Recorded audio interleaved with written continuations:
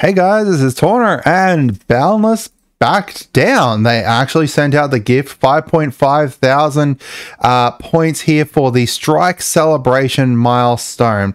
So if you go in here, you should have this complete, which is, you know, great. Like this was the major issue, in my opinion, was missing out on this um, this costume, which is meant to celebrate the fifth anniversary. And I think that's probably the thing that kind of pushed them to eventually do it and, and actually give us out the rewards, uh, which is great. You know, this is amazing news because everyone, yes, Ollie, that's you.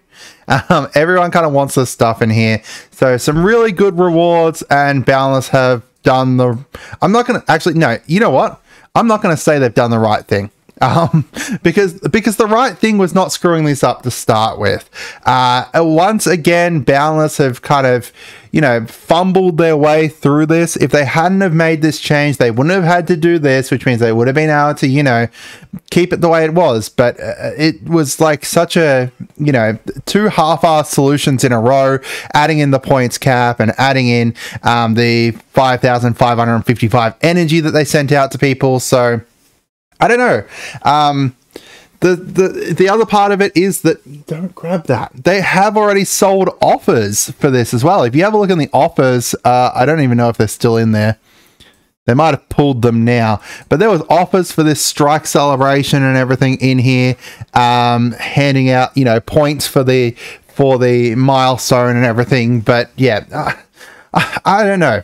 Um, I, I want to say yes, huge props for them. You know, fixing it, but uh, once again, they released something on a Friday, then they added in an extra blog on a Saturday, so that way they, you know, told us to where to go, and then you know, a couple days later they fix it.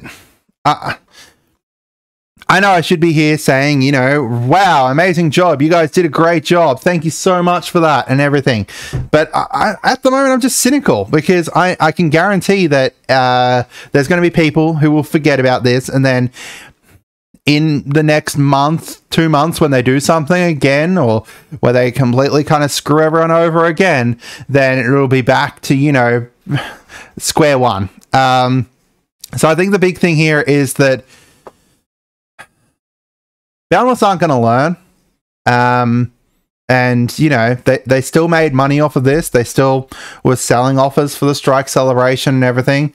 Um, anyone who purchased any points towards this milestone i feel sorry for you because now everyone's got it for free. There's no there's no leaderboard here. They didn't have to screw us over to start with but they did. So yeah. Anyway um go collect your free rewards get some good rewards. This is good. These are decent rewards, at least. Like 55 Agent Venom shards, pretty decent. 30 freaking Agent Captain Carter shards. It is really good rewards. Um, but is it too little too late?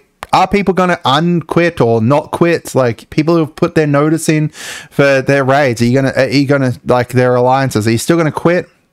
Let me know. Um, have a great day and goodbye.